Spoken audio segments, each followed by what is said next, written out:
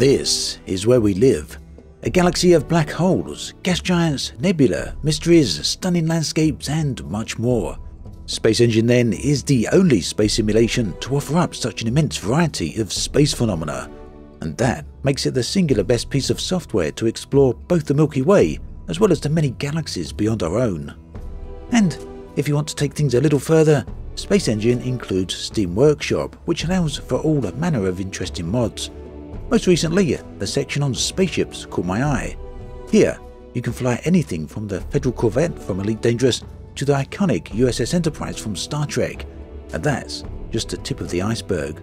More or less any ship you can think of, whether science fiction or real world, has a model available for it. Essentially, if you can find it, you can fly it.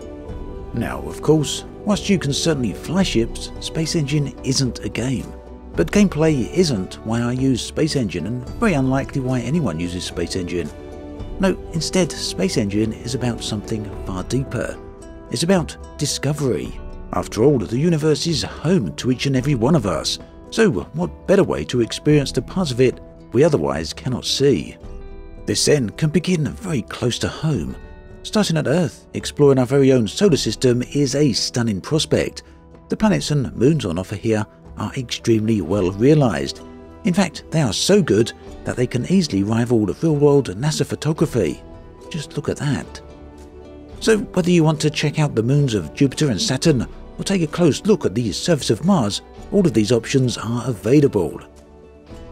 But Space Engine is about so much more than just the local star system. With around 100 billion galaxies available and literally trillions of planets, there's no shortage of new sights to see. And this is where the concept of exploration in Space Engine really begins to kick in. Broadly speaking, in my opinion, exploration can be broken down into two distinct categories. The first category is the idea of discovery, that is, seeking out strange new worlds that no one has ever seen before. This is entirely possible because Space Engine is built on procedural generation.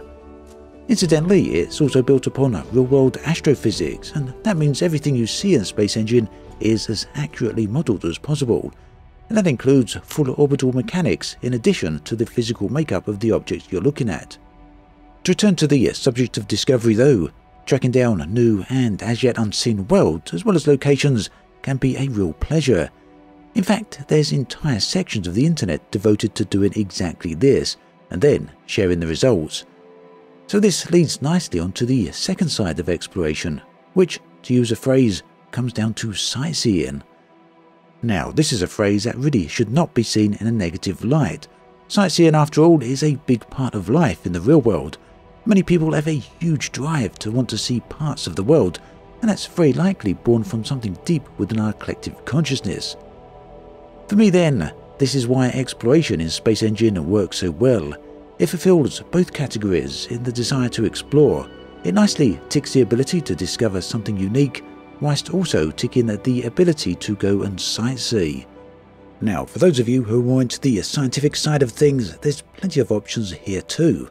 For starters, we've got all the planetary data up on the top left hand side of the screen there, but above that we've got a system layout. Just press F2 and this brings up a little indicator, a little map of all the planets and moons available in the system.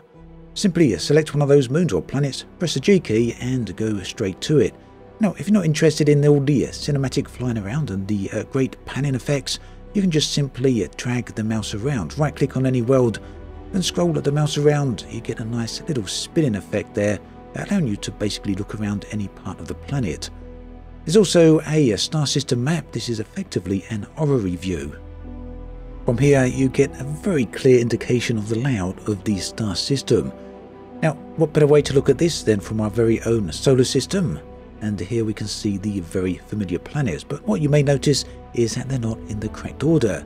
And this is because of the filters over the side. Basically, we can organize this list according to pretty much anything we actually want. Makes it very easy uh, to get a quick visual overview of how you want to perceive the system. So you can choose by size, by mass, uh, by density, temperature, as well as a couple of other things there.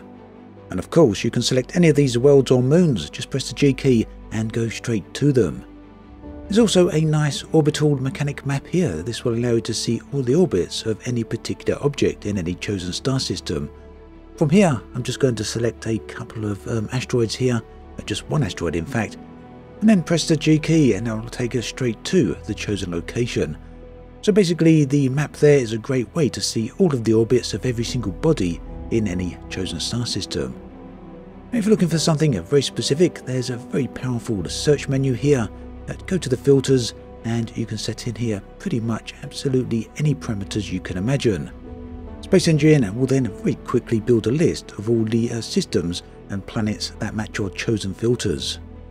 So then, that is why, in my opinion at least, exploration in Space Engine just works, and it works on many different levels. There's more information in the video description below if you'd like to find out more for yourself. As always, thanks for watching and I'll catch you guys and girls next time.